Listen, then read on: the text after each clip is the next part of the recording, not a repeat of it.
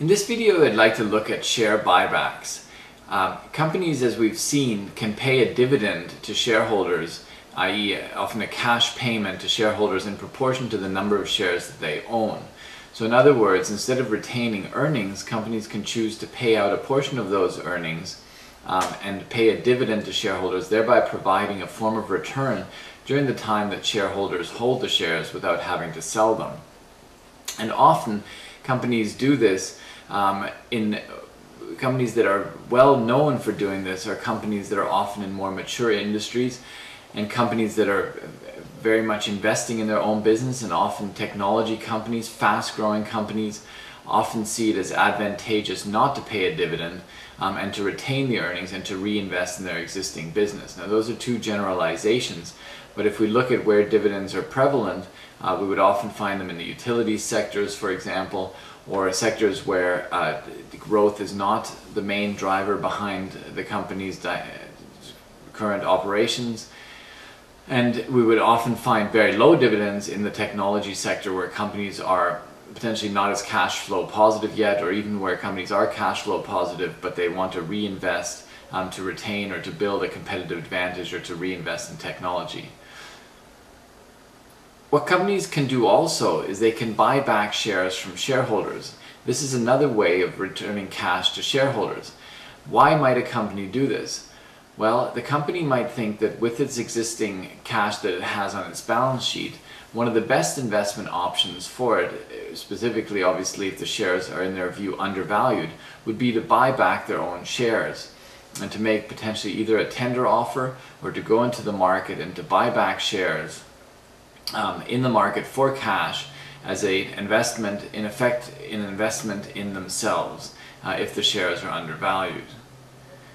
What this also does is if the company cancels the shares, or if this, the, on the asset side of the balance sheet the cash will go down, and on the equity and liability side, on the right side of the balance sheet, the equity would be reduced.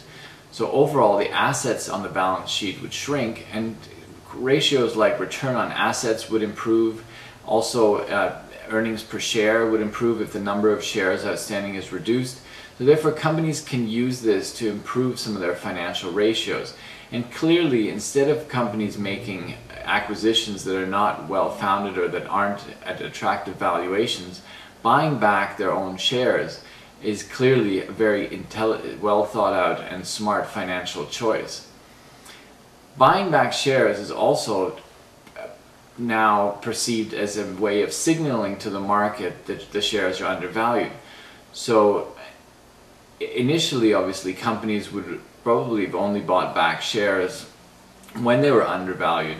But as this became a more prevalent practice, um, there was a signaling element built into an announcement of a share buyback, and the shares would typically perform very well after a share buyback announcement because it was perceived that the company, who knows a lot about its own operations and business, saw its own shares as being undervalued.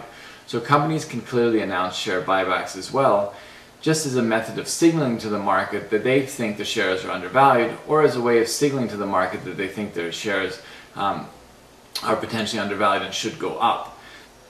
Companies often issue stock options um, to employees or stock to employees. And in that context, there's often a requirement to buy back shares and to buy shares and to then provide these shares to employees.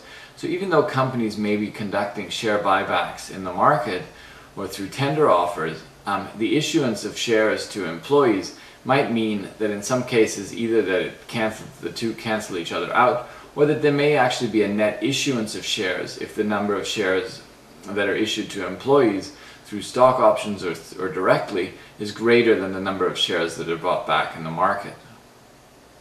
Given that share buybacks are another way of returning cash to shareholders, whether a company pays a dividend and returns cash to shareholders or whether a company buys back shares and returns cash to shareholders is often very much dependent on what is more advantageous from a tax perspective.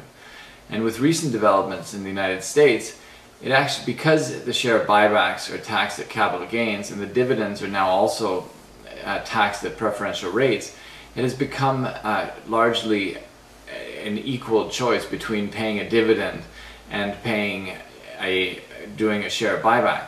when there was double when there's double taxation of dividends, i.e., there's taxation within the company and then on receipt of dividends by the shareholder, then it may be more advantageous for the company to buy back shares and return cash in that manner. So overall, share buybacks are a very important corporate finance concept. It's a way for companies to return cash to shareholders. It's a way for companies to potentially improve their financial ratios.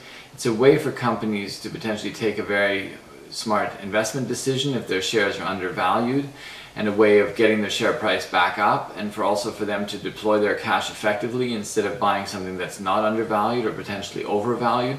And it's a way for companies also to signal to the market that they feel their shares are undervalued.